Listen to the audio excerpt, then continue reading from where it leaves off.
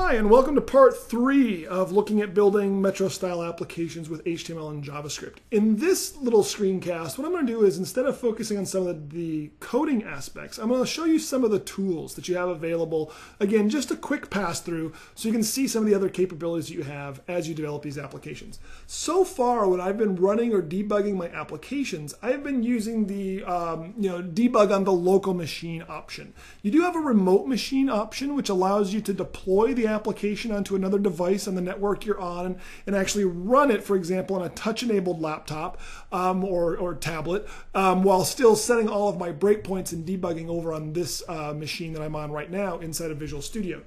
A really nice feature that's very, very handy is to run your application in the simulator. So I'm going to go ahead and start this in the simulator. And what you're going to see happen is a simulator will fire up. And what we're actually doing is RDPing back into your own uh, dev machine and launching another instance of your desktop here. So this is kind of like a virtual machine, Hyper-V sort of thing. I'm not an infrastructure guy, but that gives you kind of the idea of what's going on here. And I can run my application right here inside of this simulator. Now, where the simulator really starts to get useful useful is in a couple different areas. One is the, the kind of the obvious one is, is well, what would my application look like if the user, you know, flipped their tablet on the edge? And so now I can see that, oh, I get this nice kind of vertical layout. That's not too bad. Let's go ahead and go and put it back to normal. What's even more valuable is what would happen if the user, instead of running it on the little tablet, was running it on a very high resolution, large monitor. So I can then simulate this on a big 27 inch monitor with real high uh, resolution. And now I can kind of get a feel for what that environment looks like as well.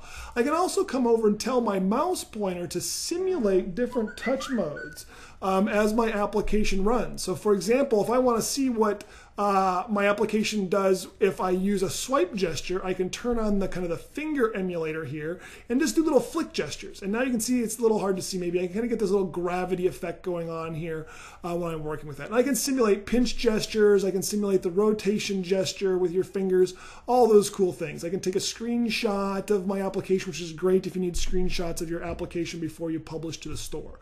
The other really cool thing that the simulator also allows us to do, and I can do this also if I have multi-monitor or if I'm doing remote debugging or whatever, but most of us will probably be using the simulator. And what I'll do is change the resolution back here so we uh, can see things a little bit easier.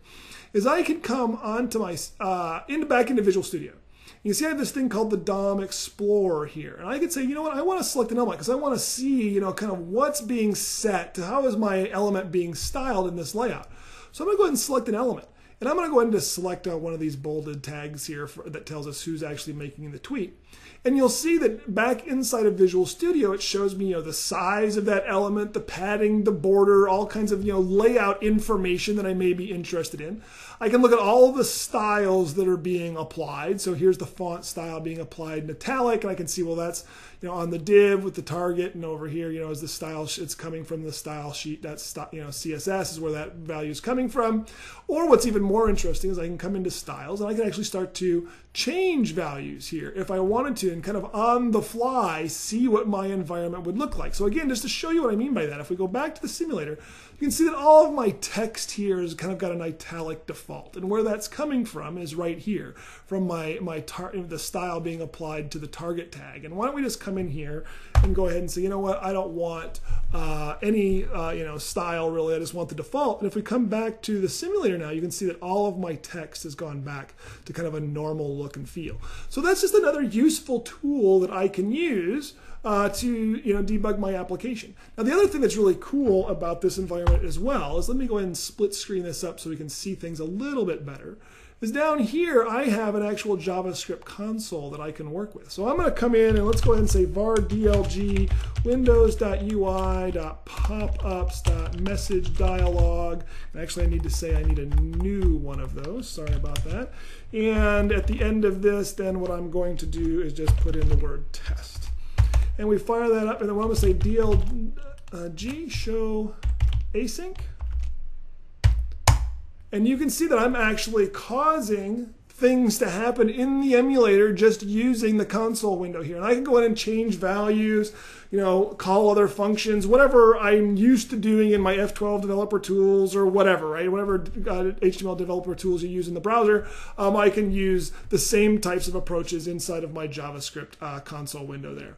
So just a few little useful tools for you to use while you're debugging. Hopefully you found those useful. And in the next uh, screencast, what we'll look at is kind of the life cycle as we start to explore the WinJS side of the house for developing our applications.